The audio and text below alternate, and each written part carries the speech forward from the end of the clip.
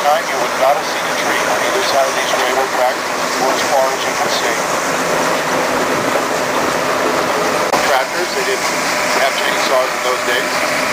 They were landlocked. The only way in was by train.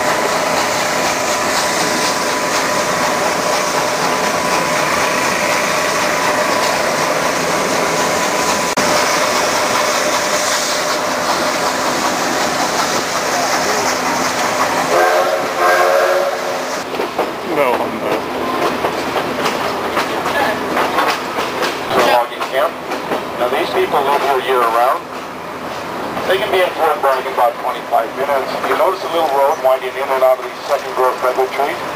That goes up to the county road. And all these beautiful second growth redwood trees we're going through right now are less than 100 years old.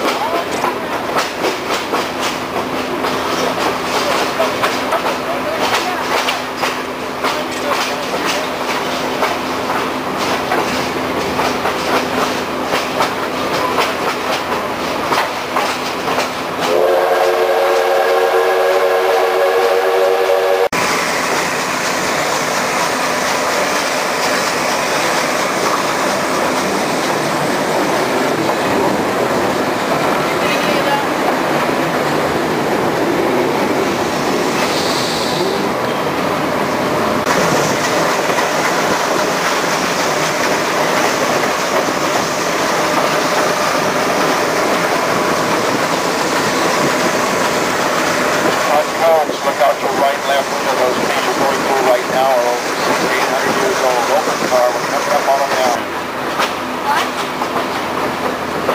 Coming up on the right-hand side is another one of these parcels privately owned. First were the men that actually cut these logs into 20-foot lanes. They were known as buckers. They would take their crosscut saws, saw those trees into 20-foot lengths, then we'd go out with the peeling crew, six to 10 men per log with steel peeling bars, these trees we're going through right now six and eight hundred years old, old growth redwood trees, both sides of the train.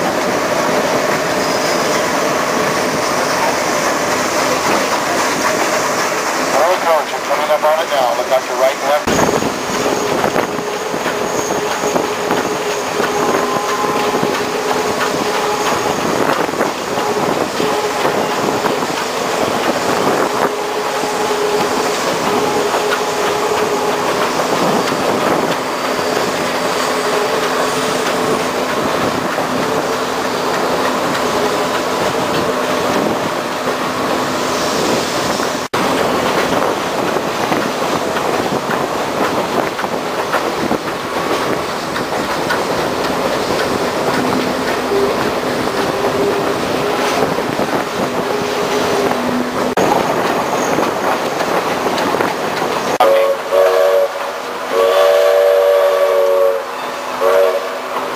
They raise sheep, cattle here.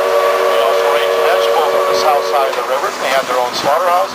They did this all for their hungry loggers who were up along the river here with the logging camps.